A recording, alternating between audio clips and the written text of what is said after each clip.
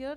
I'd like to uh, invite Dr. Subodh uh, for his talk on understanding EDOF IOLs. Good afternoon, everybody. At the outset, I would like to thank Chairman Scientific Committee AIS and all the moderators to allow me to speak on understanding EDOF lenses. No financial interest in any of these lenses. Now, what is accommodation? Accommodation is a process by which our eye changes the refractive power so as to get a clear image of an object as the object varies its distance. Now, as our age is young, there is a strong accommodation. As we grow up, or uh, in the young age, we lose the accommodation. In the presbyopic age, our accommodation is lost too much. Especially in a cataract patient, we have a presbyopic correction and we lose the accommodation now, how to restore the accommodation in pseudophakia? We have got plenty of options. We all are aware of it. First is a monovision where one eye is kept as myopic, little bit 1 to 1.25 and other eye emmetropia, but still it has got its own sets of problem. Multifocal uh, we all do it that, it has got its own problems. I will discuss it. Accommodative IOLs, once it was very popular, but nowadays it is not very popular and we are going to discuss about extended depth focus lenses. The expectations are rising day by day. People are happy with the near vision, distant vision, but still they're asking, what about my intermediate distance? Especially the computer users or the drivers who are who want to see the picture in the front and also the speedometer.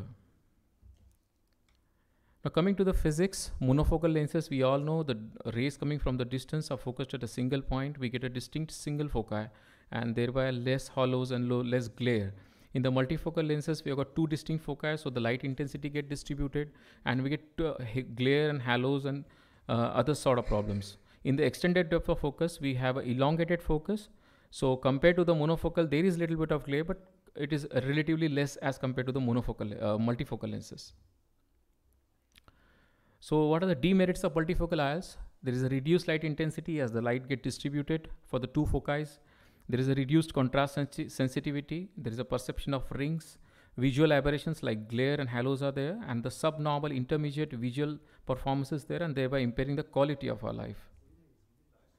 So, in extended depth of focus lenses, we get a clear little bit of near, a little bit of a distance, uh, intermediate, and a near. Sometimes we have to add our 1 to 1.25 diopters plus lenses. Now, what are the types of EDOF IOLs? There are the pure, pure EDOF lenses and hybrid EDOF lenses. Pure EDOF lenses are based on the aberration-based EDOF lenses, lenses, and the hybrid lenses are based on the basis of diffractive, refractive, or pseudo non-diffractive beam refractive lenses. Also, they are classified in the base of uh, with the rings and without ring. The first generation is a Tecnis, wherein the peripheral power is uh, goes on increasing to the center for the near vision. And uh, nowadays more popular is like a lucidis which i always i many times use it. No financial interest. In a Tecnis as i said the uh, there is a continuous change in power from periphery to the center and which gives a better intermediate distance from the center. Now edf by the pseudo non-diffractive beam refraction which uh, acts in the lucidis lenses between the diffracting and non-diffracting, there is a pseudo non-diffracting beam.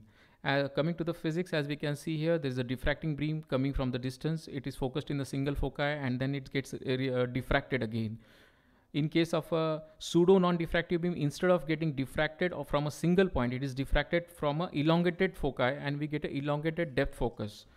And uh, theoretically speaking, in a, in a light coming from a infinite distance, we get infinite focal points. In a lucidis, it, uh, there is an axicon type of a lens where the Gaussian beams are refra uh, refracted and a Bessel beam is created, uh, which gives an elongated depth of focus in, uh, on a principle of Sturm's conoid. These are the uh, pseudo non-diffractive beam as I explained.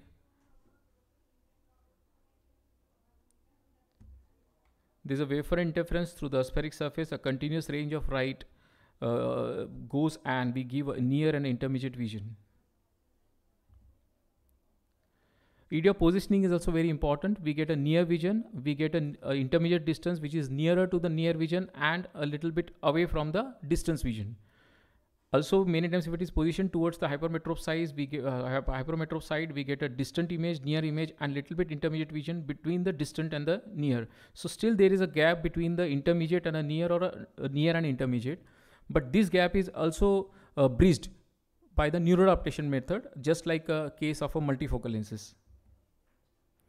These are the defocus curve which I got in the multifocal lenses, wherein the vertical axis is with a distant uh, vision and the uh, dioptric power changes from 0.5 to, to uh, 2.5 by with a distance of point uh, with a diopter of 0.5 1.5 so we get a dist- uh, distant vision and a near vision but there is a gap between in, in intermediate vision so a, a typical type of bihump appearances appeared in the in multifocal lenses while in a uh, EDOF lenses we get a continuous lens uh, range of vision from near to the distance but still there is a drop in a near vision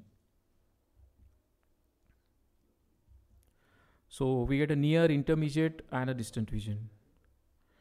This is a uh, tech, echelette technology which uh, in which the Symfony lenses have come up, where there is a uh, design profile which uh, has got a unique design profile with a specifying of a ring, height of a profile, and a shape of a profile, which gives not only the extended depth focus but also achromaticity, and uh, which gives a good quality of vision. Uh, we get a clear image of all the rays blue, red, and green Tecnis Synergy lenses have come up with a combination of diffractive and refractive technology along with the elongated depth focus. They say it's pupil independent, but I still doubt about it. In a nutshell, horizon is yet to come. A natural crystalline lens is a perfect multifocal or varifocal lenses which God has given to us. In- independence from the glasses comes at the cost of unwanted disturbing photic phenomena. High cost continues to be a deterrent for the patient. The near future, we promise post-operative adjustable lenses, but they are in a very uh, experimental stage. Despite achieving uh, achievement of a near perfect post-operative results, the search for a perfect multifocal or EDOF lenses continues. Thank you.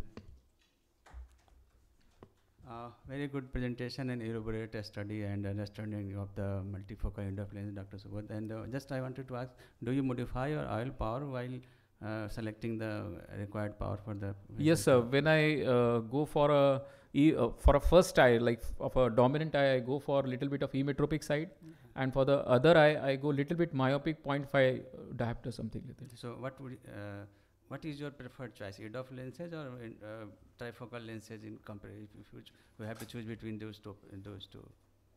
I didn't get your question. EDOF, EDOF lenses uh, you prefer or trifocal lenses? No, I prefer EDOF lenses. EDOF sir. lenses, Yes, as yes, per definitely EDOF lenses. Yes. I had a question. What kind of uh, patient profile would you consider as an ideal, uh, you know, patient for these uh, lenses? Uh, yes, ma'am. Uh, d- definitely, I'll go for a just like a multifocal lenses where the cylindrical diopter is less than 0.75 diopter, and uh, n- not very myopic patient. I will go more prefer with the um, hypermetro patients and similar like that of multifocal lenses, a housewife or say. But still, I are implanted in a male patients also, but they are not complained about the rings or halos as we get in the multifocal lenses. Thank you so much. We promise more and deliver less. So that's our principle for that.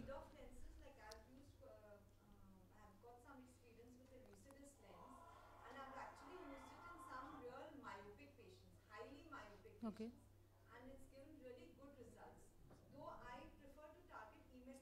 Yes, sir.